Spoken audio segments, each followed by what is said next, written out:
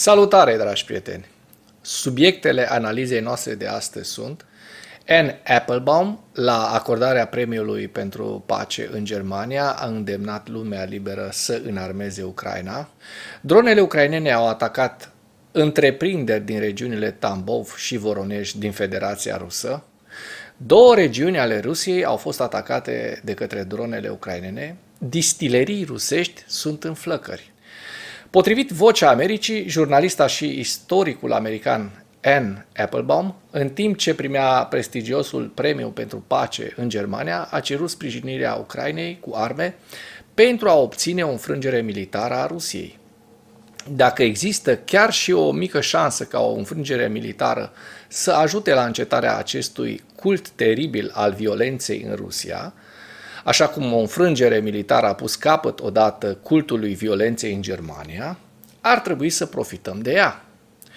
De acord cu ce spune doamna, precum uh, Hitler, acum 8 decenii, așa și Putin, în zilele noastre atacă întreaga lume liberă, care ar vrea să trăiască în pace, dar nu este lăsată. Acum că tot l-a mâncat ceva pe Putin undeva, trebuie musai ajutat să pățească precum mentorul său.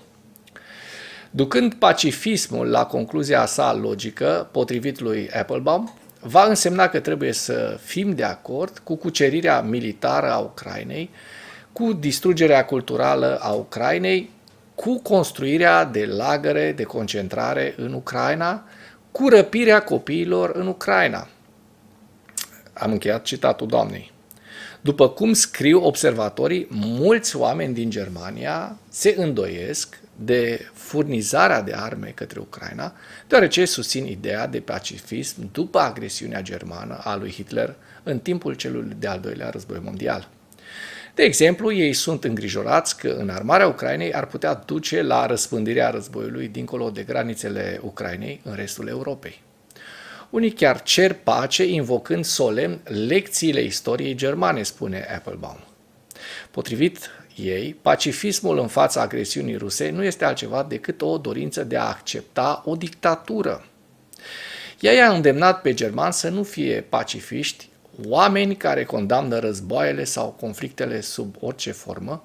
Din potrivă, știm de aproape de un secol că cererea de pacifism în fața unei dictaturi unei dictaturi agresive și progresiste poate însemna pur și simplu liniște și acceptarea acestei dictaturi.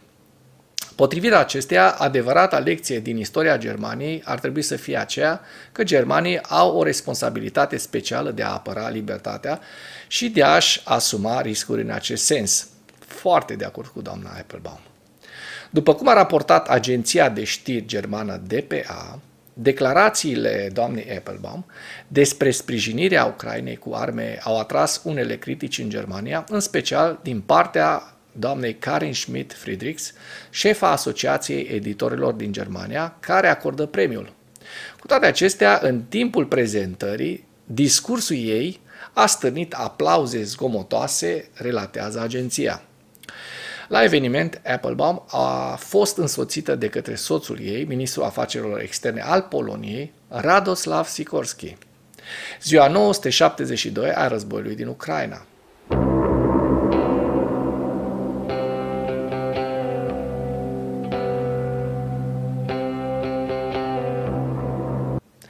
Potrivit statului major al forțelor armate ale Ucrainei, în dimineața zilei de 22 octombrie 2024, Pierderile totale în lupta ale Rusiei de la începutul invaziei neprovocate asupra Ucrainei se ridică la 681.580 de militari. În ultimele 24 de ore, Rusia a înregistrat pierderi grele pe frontul din Ucraina, între care 1350 de militari, 8 tancuri, 24 de vehicule blindate de luptă, 34 de piese de artilerie, 2 lansatoare de rachete și 2 sisteme antiaeriene.